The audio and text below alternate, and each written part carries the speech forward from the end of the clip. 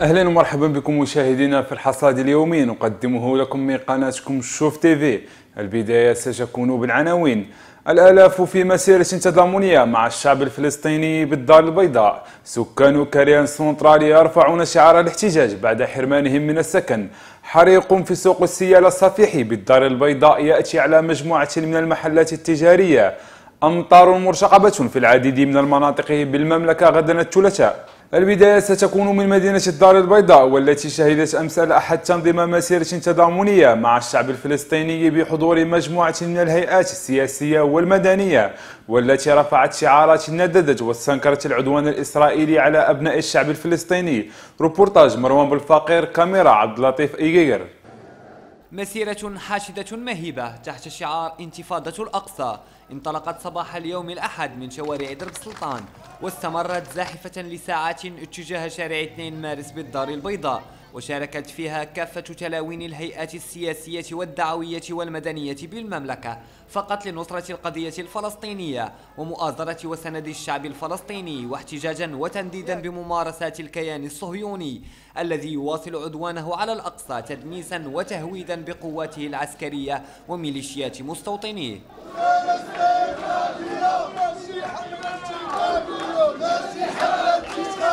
هذه يعني الجماهير الحاضرة هنا في مدينة الدار البيضاء ترسل رسالة قوية لإخواننا المرابطين والمرابطات في القدس وفي الأقصى وفي كل فلسطين بأنهم ليسوا وحدهم وأن فلسطين ملك الأمة جميعا وبأن انتفاضتهم مسنودة من قبل الشعوب العربية والإسلامية وإن خذلتهم الأنظمة وخذلهم يعني المجتمع الدولي فإن هذه الشعوب معهم.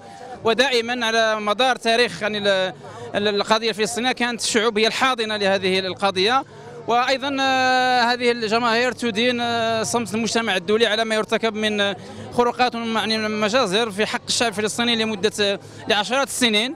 وأيضا آه، رسالة للامه جميعا أن تخرج في كل الساحات ينبغي أن نرى هذا ما نراه الآن في الدار البيضاء ينبغي أن نرى في كل الساحات العربية تضامنا مع إخواننا في فلسطين. سنستمر في هذه المحطة وفي غيرها من أجل أن نعلم أنفسنا وأجيالنا وأبنائنا أنه الغضب طريق الشعوب من أجل الحرية. سندعم نضال الشعب الفلسطيني كدعما لا مشروطا ونتمنى جادين أن أزمته هذه الأخيرة التي هي أزمة الحرية والديمقراطية والعدالة يمكن أن تنفرج عبر حلحلة النظام العالمي الذي أثبت أن قيمه الحقيقية ليست الموثقة داخل مواثيق الأمم المتحدة ولكن ولا في المنظومة الدولية ولكن قيمه هي لوبيات الاقتصادية والعسكرية والمالية. ونقول هنا أننا لن ولن نطبع مع استعمار واحتلال الشعب الفلسطيني.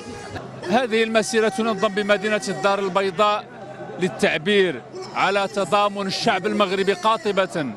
بكل تلويناته مع الشعب الفلسطيني بكل أطيافه مع الطفل الفلسطيني الذي يعاني المرأة الفلسطينية الشباب الفلسطيني سواء في المقدس سواء في غزة في الضفة فهي فرصة لإعلان هذا التضامن وكذلك لإثارة الانتباه على أن قضايا الأمة هي فوق كل الانتماءات. من أجل التعبير الصادق على هذا التضامن الحي من طرف الشعب المغربي. هذه القضية الفلسطينية هي قضيتنا. الأقصى الذي ينتهك يعنينا كما يعني الفلسطينيين.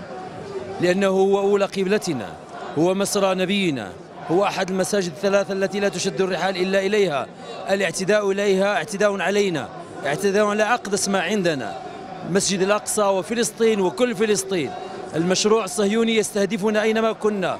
يستهدفنا هناك ويستهدفنا هنا ويستهدفنا في كل مكان. إذا نحن هنا مرة أخرى مع كل المغاربة بحمد الله تعالى لنعبر على أن القضية الفلسطينية قضيتنا وتعنينا كما تعني الجميع. وهذه رسالة أولا للمقدسيين والمقدسيات. المرابطين والمرابطات هناك ليسوا وحدهم. نحن معهم. نفديهم ندعمهم نسندهم نتضامن معهم نتقاسم معهم. بكل ما نملك بأعز ما نملك.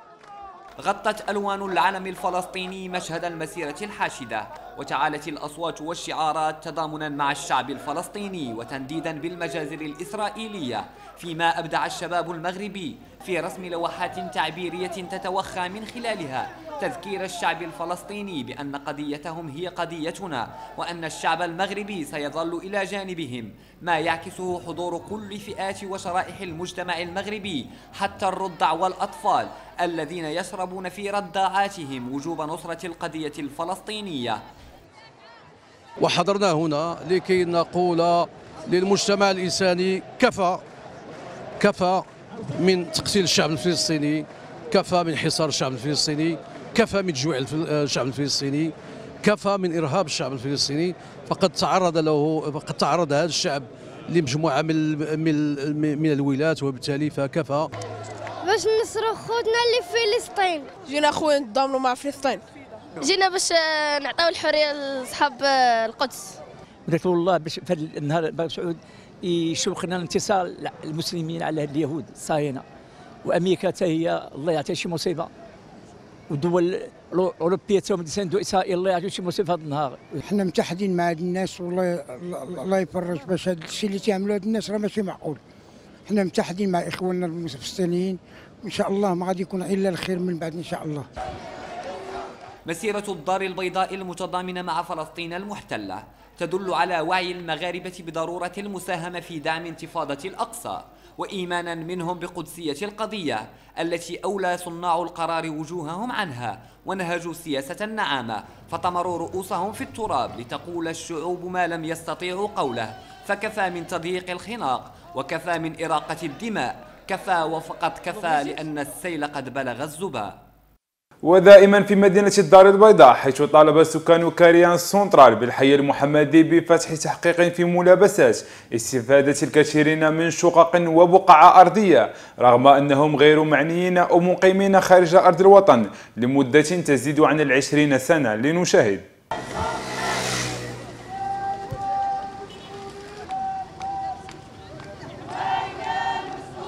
ما كتحكم لنا بالإفراغ. الإفراغ الإفراغ الإفراغ. دابا اللي داز في المحكمة كتحكم لي بالإفراغ. دابا حنا عندنا نص بقعة نص بقعة كاين فيها المجوجين والمطلقين والأرامل والعزاب. راه كاين العازب اللي عنده 40 سنة. حتى هو من حقه يتزوج من حقه يدير وليداته ويعيش حياته الطبيعية. الحمله ديال ديال التجار ديال كاريان سونترال. حتى هما التجار حتى هما مضرورين. وحنايا الحملة ديال كاريان سونترال السكان. هذه ديال السكان اللي كانت اليوم عندهم محكمة عندهم جلسة اجلوهم حتى السيمانة الجاية. وحنا كنطالبوا أن اللجنة المواكبة لإعادة إيواء أنها تستقيل أو تقال حنا رافضين أننا نتكلموا معها البقعات تباعوا وتشراو الاستفادات تباعوا وتشراو تفاجئنا بناس ما كان تفاجئنا بناس ما كنعرفوهمش. ما كنعرفوهمش سكنوا في الهراويين ما ساكنينش في كاريان سونترال. هاد الناس اللي كتشوفوا فيهم دابا هما ولاد كاريان سونترال أبا عن جد. هنا كلشي عنده بطاقة ديال المقاومة ديال الأب ديالو ولا ديال جدو. أما الناس اللي طلعوا كنشوفوا تما زعما نبغيو نشوفوا الناس كنلقاو ناس ما كنعرفوهمش. كتلقى موظفين كتلقى ناس بوليس كتلقى الله أعلم ناس بزاف ما كنعرفوهمش. وهاد الناس ما بغاو يديروا معنا حتى حل راه كيقتلوا فينا واحد بواحد. كاين اللي مرض بالسكر كاين اللي مرض بالقلب كاين اللي مات. هاد الناس كيقتلوا فينا. كنطلبوا من صاحب الجلالة ينقذنا من هاد الناس راه كيمصوا لنا في الدم ديالنا. حنا بغى يهزونا الجماعة تتبرى منا. تتقول ما ليكم حتى حاجة أنتم في حرج الجموع وحنا عندنا 60 عام تما. فهمتيني لا لا؟ والآن هم داعينا باستدعاء وبالامور في المحكمة باش يشتونا وباش يوضروا العائلات كلها. هي هو الاقتراح اللي تيحفظ لنا حقوقنا المشروعة وعلى راسها الاصل التجاري هو إعادة إيوائنا داخل تراب الحي المحمدي هذه النقطة الأولى، النقطة الثانية وفي إطار تنازل على حقوقنا وهو الانفتاح على تراب الدار البيضاء.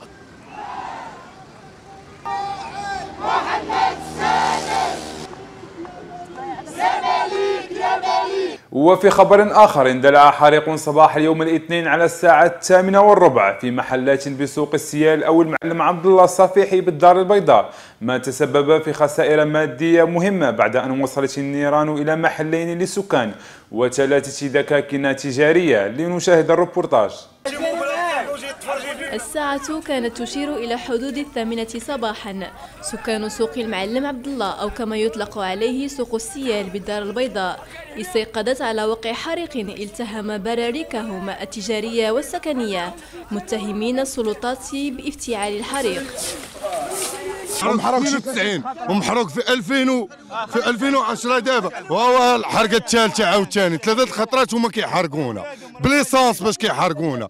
ديما ديما بحال ما هكا ولادنا ولينا كنفيقوا من الناس كنتجاراو ولادنا كيفيقوا مخلوعين. ما عندنا لا قراية لا خدمة لا شهادة السكنة لا شهادة العمل هنا كيعطيونا شهادة الوفاة. دابا عليك درنا الشكرارس كيديوهم. درنا البلارك كيحرقوهم. فقراء هذا الله ساكن ما عندهمش من غير شهادة الوفاة لا ما خدموش هاد الخدمة راه ما غيدبروش على رأسهم. شي حنا والدينا مرات فهمتيني؟ ونزيدك. كيحرقونا اي أي حاجة خوتنا صغار كيتخلعوا فهمتي؟ هادشي وما كاينش شي حل والو. ديما لا بغينا ما كاين لا حل والو. الحكومة اللي كدير لنا حنا بغينا الحل عطيونا شي حل أختي. المقاطعة. نديروا معايا شي حل. نديروا معاك شي حل وما كاين لا هذا راه كان سوق هذا. هذا راه كان سوق هذا. كانوا الناس كلشي كيترزق الله من هنا كلشي دابا ولا كيمشي للحبس. ما خلوناش من بنوات السوق كلشي كبرها في الحبس. ها هذا هذا دري 12 عام كتلقاه مدوز الحبس عندنا في هذه الدربة. وخلال تواجدنا بالسوق التقينا بمتضررة تقتات لقمة عيشها من هذا المحل الذي التهمته النيران. المحل ديالي راه كناكل منه طرف ديال الخبز. ها؟ كان ديال الدجاج. وراه السوق راه الناس تحرق راه الناس راه عامين هذه كتعاني الناس راه الناس كت في الشارع كتبيع وتشري الناس راه كانت كتخدامه الناس كتخدم تتبيع وتشري كتاكل الخبز الناس لاحوها ما داروا معاهم حتى حل والو. الناس جرات عيات ما تجري ما خلاتينا بلاصة مشات ما كاين والو. الناس راه إضافي غتزاد آه رقم إضافي غيتزاد ثاني. أربعة المحلات ولا خمسة المحلات اللي تحلوا تما تحرقوا كاملين. أيوا كنسعوا باش يديروا لنا المحل يعطي المارشي لعباد الله فين تخدموا فين راه الناس راه أسرة كاملة مشردة دابا. راه ماشي كلشي خدام. دابا راه اللي بقى في الشارع هو اللي خدام واللي داخل اش غياكل سكان هذا الحي حاولوا مرارا التنسيق مع المسؤولين من أجل إيجاد حلول مناسبة ترضي الباعة وساكنة هذا الحي الصفيحي ولكن ما من مجيب تقريبا سنتين وحنا مع مع العماله كان واحد التنسيق بأنه غيكون واحد الحل ديال السوق. فإذا بنا نفاجأ بهذا الحريق جاء على بغتة. تقريبا حوالي الساعة الثامنة والربع تقريبا. فتقريبا واحد جوج ساكنه السكان تحرقوا وثلاثة المحلات التجاريه هما تحرقوا تكون العافية المهم شي حاجة إما شمعه ولا شي حاجة. ماشي مشكل. حنا ما ما نقدروش. السلطة اللي متحمل هذا الشيء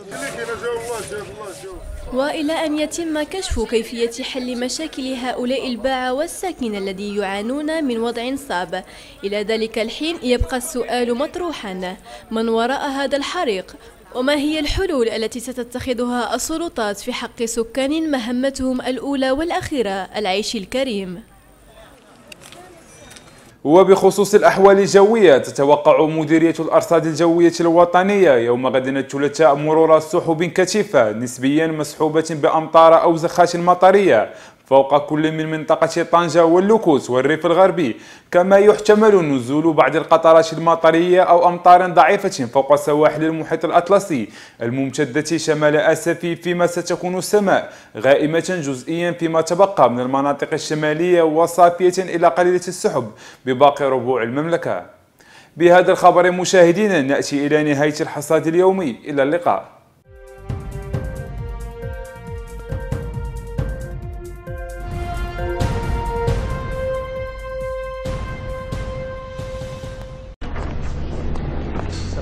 السلام. عندي ما يسالك. الوقت هو الوقت. ياك ما عييتي. لا لا. ما حسيتش بالطريق. أوقات مضبوطة حرفية وحافلات ذات جودة عالية. مع ساتيام كونوا ديما في الموعد. ساتيام صفر على حقه طريقه